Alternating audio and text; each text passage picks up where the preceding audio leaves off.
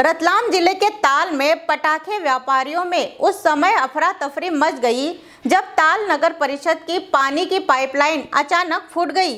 मामला कुछ इस तरह हुआ कि शाम को ताल मेला ग्राउंड में लगी पटाखे की दुकानों के पीछे निकल रही पाइपलाइन अचानक फूट गई, जिसके चलते पटाखे दुकानों में पानी भर गया।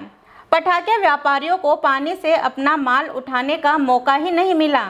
देखते ही देखते दुकानों में पानी घुस गया। व ज़मीन पर रखे हज़ारों के पटाखे जलमग्न हो गए। यह देख नगर परिषद के कर्मचारी व अधिकारी मौके पर पहुँचे, तब तक पटाखे की चार दुकानों में पानी भर चुका था। यह देखकर पटाखे दुकानदारों का गुस्सा अपनी सीमा पार कर चुका था। इतने में नगर परिषद के लोग आ गए, तब व्यापारियों और परिषद के कर्मचारियों के बीच कुछ कहा सुनी भी हुई। तब नगर परिषद सीएमओ मौके पर पहुँच गए। उन्होंने ताबड़तोड़ स्थिति में पटाखे दुकानों में से भरा हुआ पानी बाहर निकलवाया।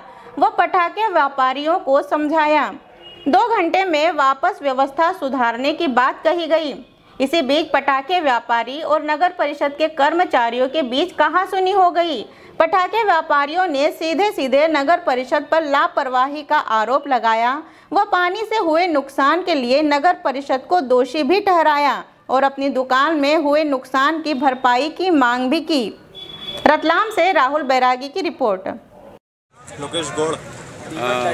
क्या हुआ अभी थोड़ी देर पहले यहाँ से? यहाँ पे पीछे कल मतलब नगर पालिका वालों ने खड्डा खोदा था। जी। तो जिससे पाइपलाइन फूट गई और इन्होंने ध्यान भी नहीं दिया। जी। और पाइपलाइन चालू कर दी। और चालू जिससे कर हमारे पाँच मिनट में लाखों का नुकसान हो चुका है। कितने कितने रुपए का नुकसान हुआ लाखों का नुकसान मतलब समझ लो सर कहना चार से पाँच लाख रुपए का नुकसान हो चुका है। ऐसे कितने दुकानदार हैं जिनका दुकान- थी और कुल मिला के कितना नुकसान हुआ अभी तक? अभी तक मतलब एक दुकान से डेढ़ लाख रुपए का माल खराब हो चुका है। आप अभी तक किसकी गलती मानते हो? अभी तक प्रकृति की गलती मानेंगे ना प्रशासन प्रकृति की मानेंगे। गलती तो है नहीं।